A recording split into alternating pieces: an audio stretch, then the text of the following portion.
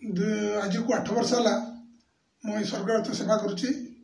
ଆମର ଗୋଟେ ସଂଗଠନ ଅଛି ଜୟ ଜଗନ୍ନାଥ ମହାପୁରାଣ ସଂସ୍ଥାନ। ବର୍ତ୍ତମାନ ସେ ସଂଗଠନ ଦ୍ୱାରା ହିଁ ମାନେ ପରିଚାଳିତ ହେଉଛି। ଆମକୁ ଗୋଟେ ଗାଡ଼ି ସଞ୍ଜୟ କୁମାର ସାହୁ ମାନେ ଡୋନେଟ୍ କରିଛନ୍ତି। ସେ ଆଜି ପର୍ଯ୍ୟନ୍ତ ଗାଡ଼ିର କଥା ବି ସେ ବୁଝୁଛନ୍ତି। ମୁଁ ଏବେକୁ ପ୍ରାୟ ତିନି ହଜାର ମାନେ ପ୍ଲସ୍ ଡେଡ୍ ବଡି ନେଇସାରିଲେଣି। ଫ୍ରି ଅଫ୍ କଷ୍ଟରେ ମାନେ ସେବା କରୁଛି। ଆଗକୁ ବି ସେବା ଜାରି ରଖିବି। ଆଉ ଜାରି ରହିଥିବ ଭଗବାନଙ୍କର ଆଶୀର୍ବାଦ ଗୁଣପୁର ଲୋକଙ୍କର ଆଶୀର୍ବାଦ ନିହାତି ଦରକାର ମୋ ଉପରେ ବାସ୍ତବରେ ଦୟାନିଧି ବାରିଦ ଦୟାନିଧି ବାରି ଦୟାନିଧି ବାରିକ ହେଉଛନ୍ତି ଜଣେ ମାନବ ହିତୈଷୀ କଳାର ବ୍ୟକ୍ତିତ୍ୱ ଆମେ ବାବନ ଜଣ ସଭ୍ୟ ହୋଇ ଜୟ ଜଗନ୍ନାଥ ମହାପ୍ରାଣ ସଂସ୍ଥାନ ଆରମ୍ଭ କଲୁ ସେଥିରେ ଗୋଟିଏ ଗାଡ଼ି ଆମର ନଗରରୁ ଶ୍ମଶାନ ପର୍ଯ୍ୟନ୍ତ ଶବ ବ୍ୟବହାର ଯୋଜନା ଥିଲା। ତାପରେ ପରେ ସଞ୍ଜୟ ସାହୁ ଗୋଟେ ଗାଡ଼ି ଦେଇଛନ୍ତି। ସେଇଟା ମ୍ୟୁନିସିପାଲିଟିରେ ଯେକୌଣସି ମେଡ଼ିକାଲର ଶବକୁ ଡିଷ୍ଟ୍ରିକ୍ଟ ସାରା ଫ୍ଲାଏଓଭର ହେଉଛି।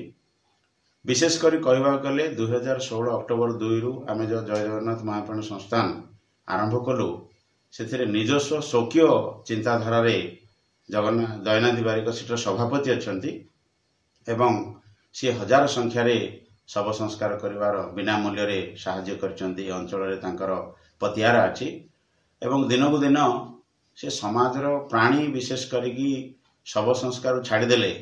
ଅନ୍ୟାନ୍ୟ ପଶୁପକ୍ଷୀମାନଙ୍କ ପ୍ରତି ମଧ୍ୟ ତାଙ୍କର ଅନେକ ଶ୍ରଦ୍ଧା ଥିବାର ଆମେ ଦେଖିଛୁ। ଗତ ଦିନରେ ଗୋଟେ ଶୁଆ ପାଇଁ ସେ ଯେଉଁ ପ୍ରକାର ଶୋକ ସନ୍ତପ୍ତ ପରିବାରର କଥା ଆମେ ଶୁଣିଥିଲୁ ସେଥିରେ ଆମେ ନିଶ୍ଚୟ ଅନୁତପ୍ତ।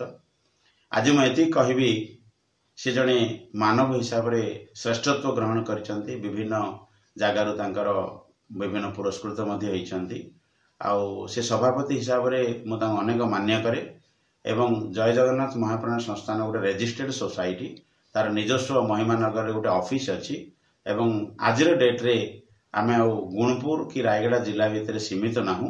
ବର୍ତ୍ତମାନ ସେ ନିଜେ ଗୋଟେ ପ୍ରୟାସ କରିକି ଗୋଟେ ସ୍ୱର୍ଗରଥ ତିଆରି କରିଛନ୍ତି ଯାହାଟାକି ଆମର ଆମ୍ବୁଲାନ୍ସ କାର୍ଯ୍ୟକ୍ରମ କରୁଛି। ସେଇଟା ପୁରୀ ସ୍ୱର୍ଗଦ୍ୱାର ପର୍ଯ୍ୟନ୍ତ ପହଞ୍ଚିଲାଣି।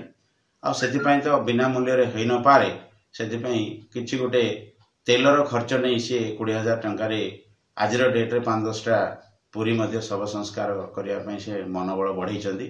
ଏଭଳି ବ୍ୟକ୍ତିତ୍ୱ ନିଆରା ଏବଂ ଆଜି ଜୟ ଜଗନ୍ନାଥ ମହାପ୍ରାଣ ସଂସ୍ଥାନ ପ୍ରଚାର ପ୍ରସାରରେ ରହିନାହିଁ ତାର ନିଜସ୍ୱ ସେବା ଆଉ ମନୋବୃତ୍ତି ନେଇ ଆଜି ବହୁ ଜାଗାରେ ଚର୍ଚ୍ଚିତ ହେଇଛି।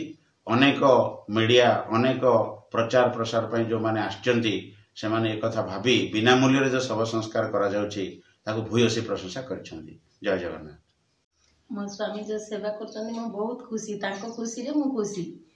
ଆଉ ଏଇ ଗାଁ ଲୋକ ବି ବହୁତ ସାହାଯ୍ୟ କରୁଛନ୍ତି। ସମସ୍ତେ ସାହାଯ୍ୟ କଲେ ବି ମୋ ସ୍ୱାମୀ ଆଗକୁ ଆହୁରି ଯାଇପାରିବେ ଭଗବାନଙ୍କର ଆଶୀର୍ବାଦ ଥାଉ। ତାଙ୍କେ ସେମିତି ସେବା କରି ଚାଲିଥାନ୍ତୁ। ଆଉ ଲୋକଙ୍କର ଆଶୀର୍ବାଦ ଭଗବାନଙ୍କର ଆଶୀର୍ବାଦ ଥାଉ। ଖୁସିରେ ଥାଆନ୍ତୁ ସମସ୍ତେ ଭଲରେ ଥାଆନ୍ତୁ ସମସ୍ତେ ମୋ ସ୍ୱାମୀକି ସେମିତି ଆଶୀର୍ବାଦ କରୁଥାନ୍ତୁ। ଆଉ ଗୋଟେ ଶୁଆଟେ ବି ଥିଲା ମୋ ଘରେ ଗୋଟେ ପୁଅ ଭଳିଆ ଥିଲା ସିଏ ପୁରା। ସିଏ ମରିଗଲା ଯେ ତାକୁ ନେଇକିରି ଅନ୍ତିମ ସଂସ୍କାର ନଦୀରେ ନେଇକିରି ଗଲେ ତାଙ୍କୁ।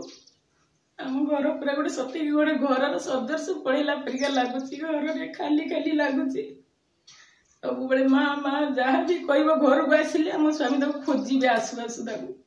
ଏବେ ଘରେ ନାହିଁ ବହୁତ ଦୁଃଖ ଲାଗୁଛି ଆମକୁ।